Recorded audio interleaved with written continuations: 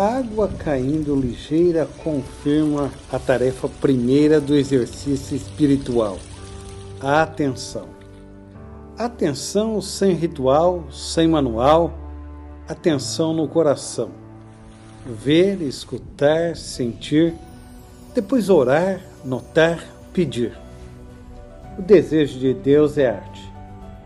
Há um divino encantamento em toda parte. O mar, por exemplo, é sempre imenso. Tanto quanto amar, tem que ser intenso. Saudade, digo o que penso, será algo sempre tenso. O sinal da vida bela acende e revela algo que está dentro da gente. Basta ver que a bonita árvore é uma imagem que diz que a sua raiz a faz feliz. Creio que é assim que a paz se exprime, a beleza se imprime.